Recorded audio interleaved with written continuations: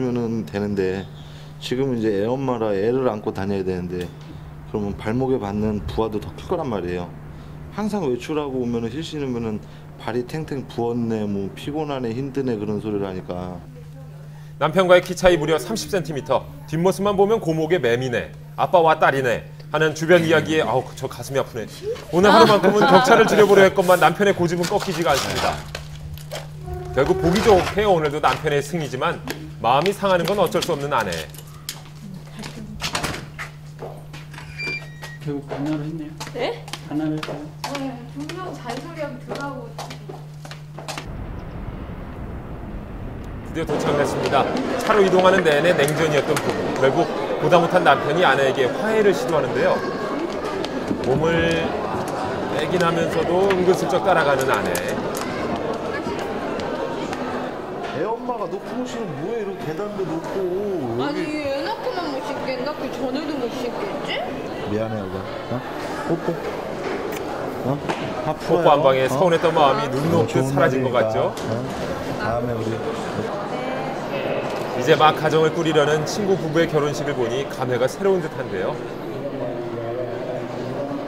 옛날 생각이 난다.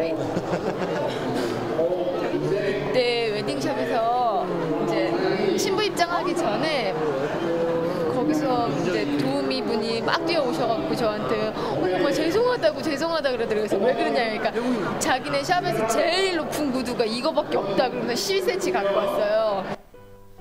굳이 남편과의 키 차이를 줄이기 위해 하이힐에 발판까지 총동원했던 지난날.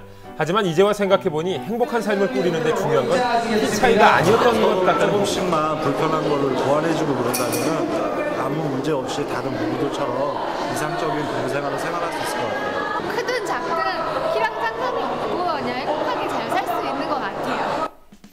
키 차이를 뛰어넘어 사랑으로 하나 된 두 부부의 일상 속에서 여러분이 발견한 진정한 행복의 의미는 무엇인가요?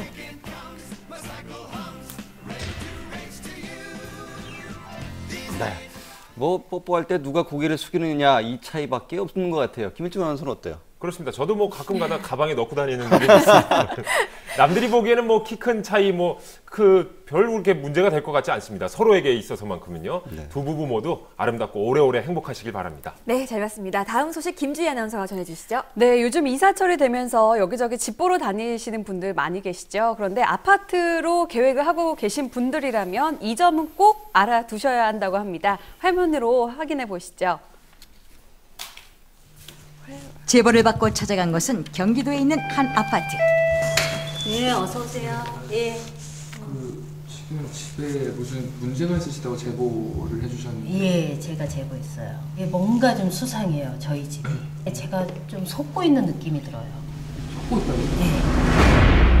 집이 뭔가 수상하다는 말씀. 과연 그 비밀은? 수년째 이곳에 살았지만 최근 이상한 걸 느꼈다는 제보자. 그러나 겉으로 보기엔 연희 것과 다를 바 없습니다. 집안 구석구석 살펴보지만 수상한 점은 찾을 수가 없는데요. 뭘 보면 되는 거예요?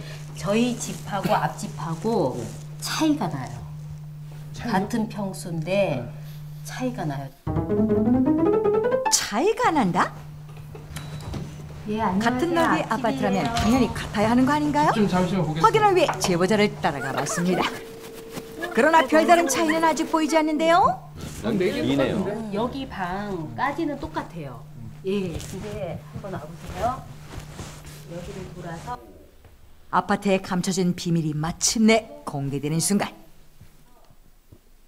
모르시겠다고요? 다시 한번 자세히 살펴보세요. 이- 우리 집은 이 정도까지거든요. 제가 생각하기에 한 한 평 정도는 여유 공간이 더 있는 것 같아요. 같은 평수래도. 구조도 같은 구조가 조금 봐요. 다르지만 같은 넓이라는 이것. 그러나 눈에 띄게 다른 공간이 있는데요. 아, 분명 같은 넓이라고 하는데 왜 그런 걸까요? 그 부동산에서는 얘기 어떻게 뭐 전혀 얘기 없었죠. 제가 살면서 느낀 거죠. 뭐라고 얘기를 아니 그냥 같은 아파트 같은 착시라고 48평. 하는군요. 같은 40 8평. 음. 부동산 중개업소를 찾아가 봤습니다. 그게 그 구조의 차이만 있는 거예요?